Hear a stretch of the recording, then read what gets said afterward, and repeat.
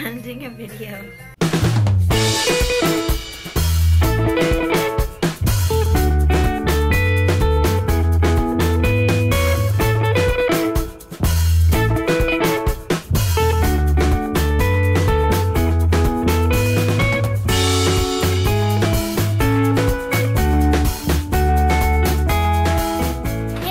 Created this tutorial for you all that involves kind of that porcelain kind of skin.